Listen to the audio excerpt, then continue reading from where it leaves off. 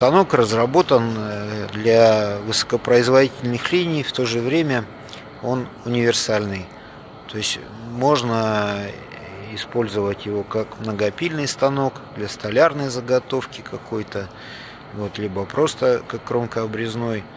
Очень интересный мощный станок. То есть здесь вот э, двигатель максимальная мощность устанавливаемая 55 киловатт. То есть можно пилить лафеты до 120 миллиметров высотой. Вот. Э, станок оснащен быстрой э, перенастройкой ребух, то есть у него электромеханический привод стоит на подъем ребух. Также, в принципе, можно и вручную работать. Вот. Здесь вот регулировка высоты с пульта осуществляется. Вот. Более того, более того, на станке э, возможна установка программируемого контроллера для того, чтобы оператор мог с кнопки делать смену режимов. Но вот э, в данный момент этот станок э, не оснащен контроллером. Выбор режимов он позволяет нам автоматически переходить с настройки на работу в кромкообрезном режиме, там, для разнотолщинных досок, там, допустим, 20-ка, 50-ка, можно все подряд на высоких скоростях будет пилить. И э, автоматически переходить, допустим, нам в режим многопила, да, вот он. поднял ребуху на 90, максимальная высота пропила 120, ну, в данном случае настроена на 90. Ну и скорость подачи, соответственно, переходит, меняется тоже другой режим, может быть низкой, может быть высокой. Зависит от настройки. Предусмотрен дистанционный пульт управления. То есть на нем дублирована кнопка аварийного останова. А, при режиме автоматическом, соответственно, вот эти клавиши, они дублируют вот эти клавиши. То есть, допустим, нажатие на клавишу 1 перевело нас в режим запрограммированный. Второй. И, соответственно, третий режим. Давайте посмотрим на станок. Здесь широкий вал во-первых, то есть э, расстояние между крайними пилами там 1000 миллиметров, да, то есть э, здесь можно, используя этот вал, либо э, пилить э, с, на, как кромкообрезной станок использовать с разными разными постовыми, либо можно использовать его одновременно как многопильный станок, да, вот ставить с одной стороны пилы, с другой стороны кромить доски, используя разные режимы. Вот. Что здесь на входе у нас? У нас здесь на входе три ряда когтевой защиты. Вот. Первая стоит сразу на входе. Она защищает от э, вылета э, срезок при распиловке толстомерных лафетов. Вот. И вторая защита, вот она там стоит, она защищает от срезок при работе с тонкими досками. И есть еще нижний ряд когтевой защиты. Он защищает э, в обоих случаях. Вот. Как осуществляется протяжка? Значит, во-первых, стоит приводной ролик на входе. То есть вот этот ролик, он уже затягивает и доски, и лафет под когтевую защиту. Вон там находится привод. Значит, дальше что? Снизу стоит у нас по паре приводных ребух. Вот они. Массивные, мощные приводные ребухи. Вот. И, значит, сверху у нас э, ребухи большого диаметра приводные стоят. То есть они позволяют нам накатывать на э, доски различной толщины. То есть можно можно 25-ку, э, можно 50-ку. Вот. Без перегрузки на привод. Пилить на высоких скоростях. Более того, у нас еще здесь запатентованная система э, подъема этих ребух. То есть собственной разработки, да, то есть еще нигде э, не использовалась она. Аналогов этой системе нету. Вот, запатентован. У нас ребухи развязаны.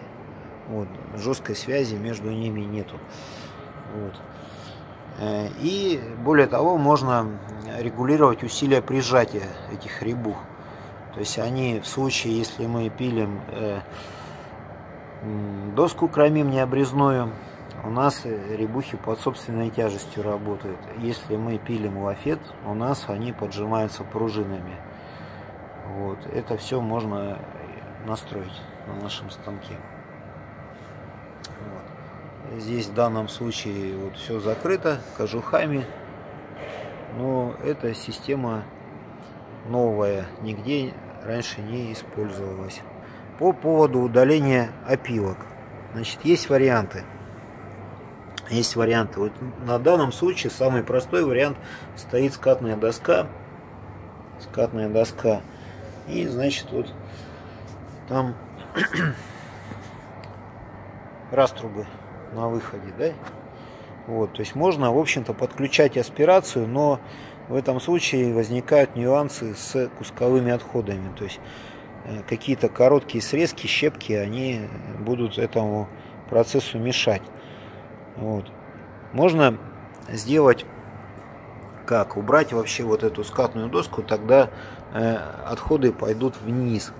Вниз, где в каком-то конфузор, отвал там и э, транспортер скрипковый для опилок будет отводить все это в сторону. Значит, есть еще один вариант. Просто у нас внизу устанавливается ленточный транспортер, который выносит отходы из станка. А на выходе ну, устройство для подключения аспирации ставится. Вот. Это, это, это опция то есть за, за дополнительную плату. Вот. Значит, по поводу приводов. Приводов.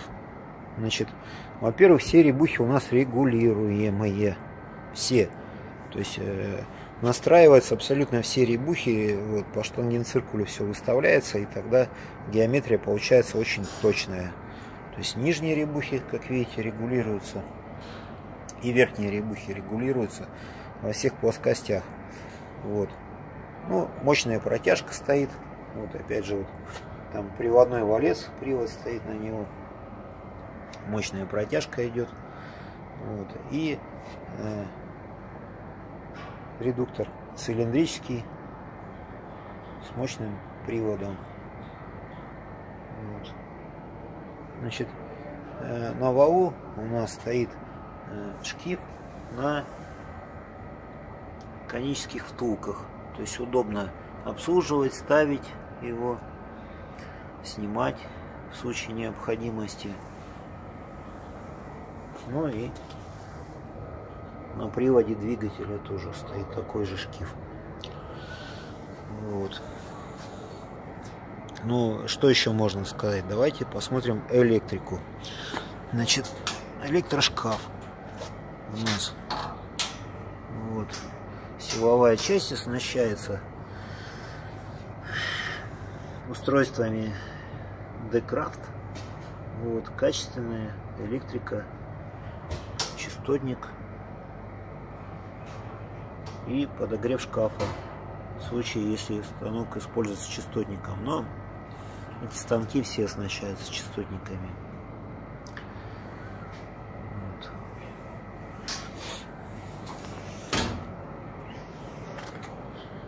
Более того, так сказать, вот по поводу скоростей подачи, здесь еще у нас три ручья, три скорости можно при помощи шкивов менять. То есть настраивать оптимальные режимы при подаче. Вот.